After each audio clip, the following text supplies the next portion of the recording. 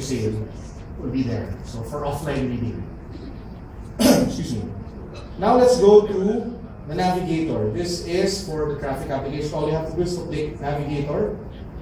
Not everybody turned off their Wi-Fi, so thank you. Excuse me. So this, as you can see, the, the entire uh, web browser shows renders beautifully the entire website. So there's actually no need for for you to, to do whatever anything else. So if you want to check it on live view, Google Map, like what Robbie said, all you have to do is click.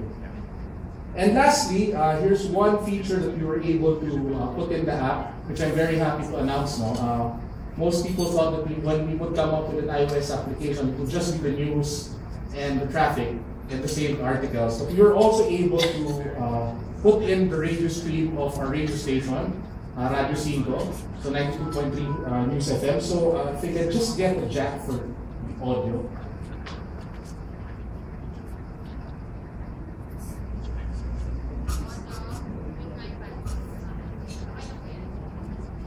Okay, so let's hope this works. So click radio.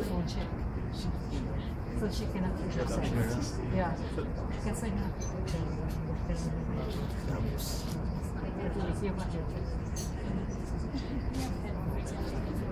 Check on the audio. Parang hindi niya. Ako pa headphone check. There. Palakpakan nyo naman.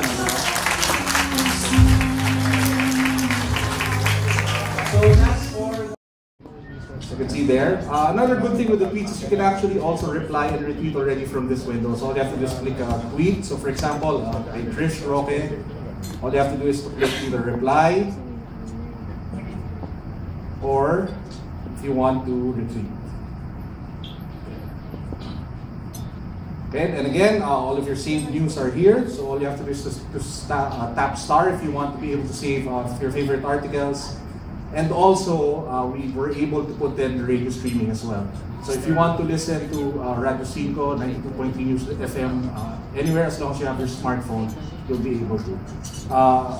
And that's it for my demo. And I hope you guys try it out when you when you go outside. Uh, there And I'm sure kung sino man mananalo dito na iPad uh, will very much enjoy the service. So again, uh, thanks everyone for uh, having me this evening.